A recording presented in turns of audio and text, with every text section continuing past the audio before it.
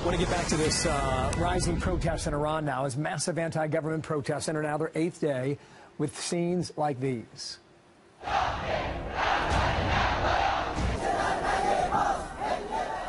Big crowds there in the towns outside of Tehran, the capital city. At least 20 protesters have died since the demonstration started.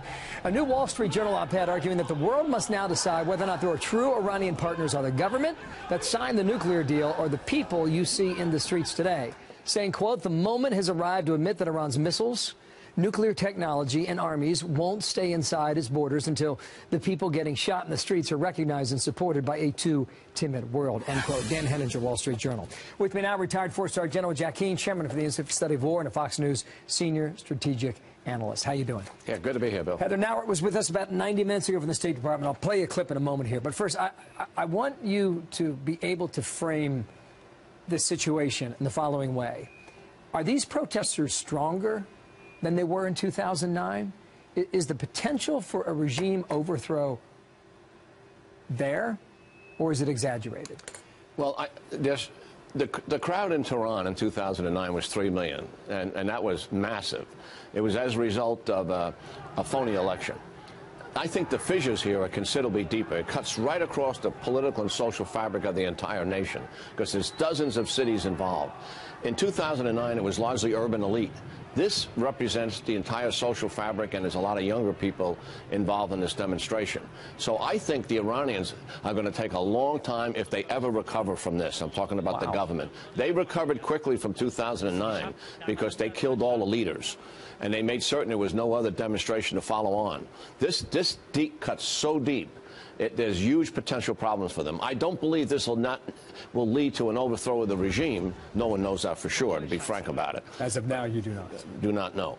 But the fact is, the Iranian government is going to be hurt. I don't think they'll ever be back to where they were because they have so squandered the opportunity to improve the quality of life for the people as a result of sanction relief, $100 billion plus. And what they've got here is an economic deteriorating situation. Oh, that's a strong statement, General. Heather Nauert was talking about the people of Iran who thought they were going to get a good deal through the Iranian nuclear deal um, and found out otherwise. She they expected to get something out of the Iran nuclear deal. The leaders there of that country promised that that money would benefit all the citizens, but yet we have seen Iran take that money and funnel it into the Houthi rebels in uh, in Yemen. We've seen them send, spend money in Syria. We've seen them outfit Hezbollah. They're not spending their money on their own people. She's got a point. No, that's, that's what I'm saying. And listen, they're, they're buying ballistic missile technology with a single purpose only. Why do you have ballistic missiles? To deliver a nuclear weapon. And that's what they're investing in. They've got 160,000 rockets and missiles now in Lebanon in the hands of the Hezbollah. One reason only, to fire those missiles eventually at Israel. They're running the war in Syria. They started the civil war in Yemen with the Houthi rebels. They're providing all the missile technology, all the arms, all the weapons. That's what they did with the money. And it's outrageous.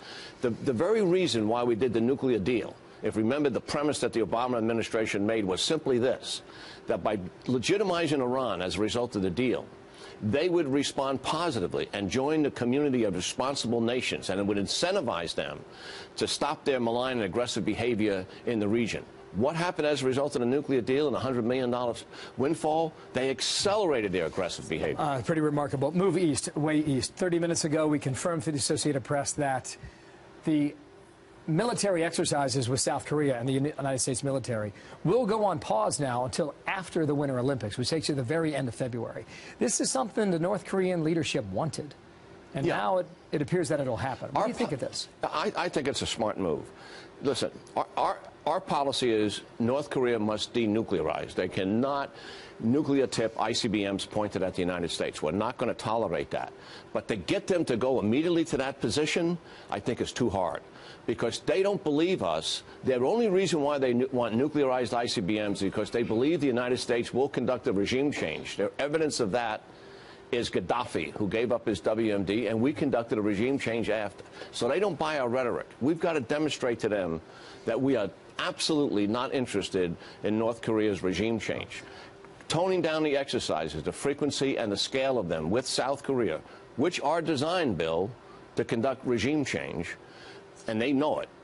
Will be a step in that direction. Maybe this is the breakthrough that we've been looking for.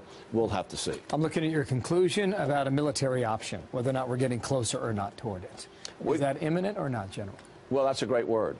I think we are getting closer to exercising a military option because nothing else seems to be working unless this new this new this new issue will materialize. However, it's not imminent, and you know why? Because if it was imminent, we would be telling the, the several hundred thousand Americans to leave South Korea. Hmm. We'd be evacuating our families. There would be military deployments that we would not be able to do in secret air, maritime, and ground forces would be on the move. That's when war hmm. is imminent. That's not right now. A lot to watch and a lot to follow. Thank you, sir. Yeah, good talking to you. General. Jack Keane here in New York. Thank you.